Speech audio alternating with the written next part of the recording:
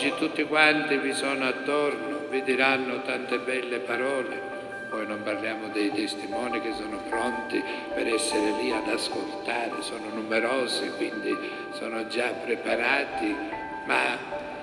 la parola più bella, che è l'augurio che anch'io vi faccio a nome personale anche della comunità qui rappresentata, sono le parole che Gesù ha ripetuto nel Vangelo. Voi siete il sale della terra, voi siete la luce del